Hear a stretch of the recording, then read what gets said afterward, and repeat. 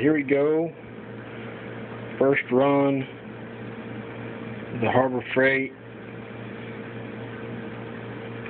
ultrasonic cleaner with 50-50 water and mean green super strength blah blah and on